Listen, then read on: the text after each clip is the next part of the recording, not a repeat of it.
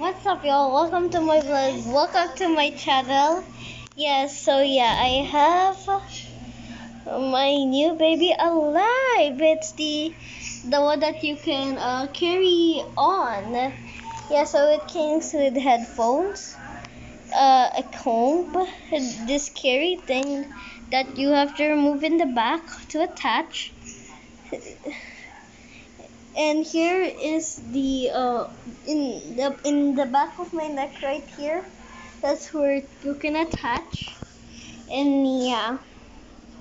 So under it it's wearing a unicorn top purple unicorn uh, top and some polka dot shorts right there.